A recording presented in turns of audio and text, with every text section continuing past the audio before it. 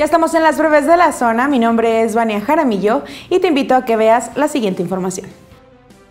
Ante el nuevo esquema en la desaparición del Seguro Popular y la entrada del Instituto de Salud para el Bienestar INSABI, el mandatario estatal Diego Sino Rodríguez Vallejo informó el pasado viernes que el cálculo de déficit en recurso enviado por la Federación para este año rondaría los 1.500 millones de pesos, por lo que se buscaría la forma de obtener este dinero.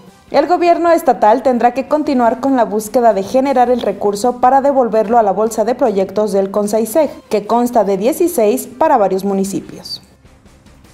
Estudiantes de la Universidad de Guanajuato en los campus de León solicitaron una reunión con autoridades para dar seguimiento a los compromisos que se acordaron tras el paro de 12 días que realizaron los universitarios. A través de un comunicado, la Asamblea Autónoma Estudiantil de León informó que estarán vigilantes del cumplimiento de los compromisos que se firmaron el pasado 13 de diciembre, por lo que piden que sea la vocería de la escuela y autoridades los que informen sobre el avance de los mismos. Los alumnos citan de forma personal el jueves a las 12 del día en el Campus Forum. Los citados son Carlos Hidalgo Valadez, rector del Campus León, Merced Rizo Carmona, director del Colegio Medio Superior, Cecilia Ramos Estrada, secretaria general, y Dalila Bella Camarena, directora de la Escuela de Nivel Medio Superior. La prioridad de la reunión, según informaron en el comunicado, es conocer las acciones ante los casos de acoso y hostigamiento académico que dieron a conocer en el levantamiento del paro.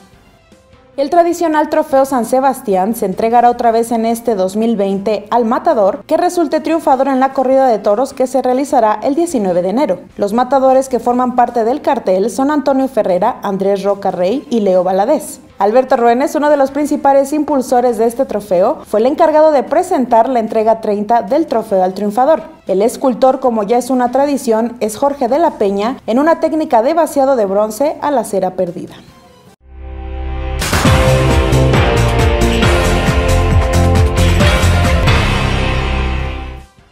Checa todos los detalles en zonafranca.mx, quédate pendiente también de todas nuestras redes sociales y por supuesto mañana mi compañera Carmen Martínez te presenta más información.